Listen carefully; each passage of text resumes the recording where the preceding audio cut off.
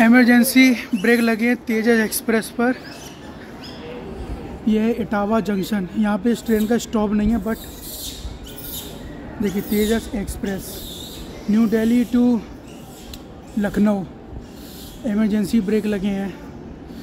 हम लोग आ ही रहे थे एंटर कर ही रहे थे, देखा इस ट्रेन में ऑलरेडी ब्रेक लगे हुए थे।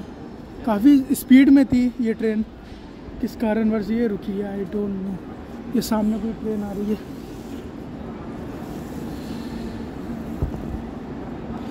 तेजस एक्सप्रेस। पता नहीं किस रीज़न की वजह से इस ट्रेन को रोका गया।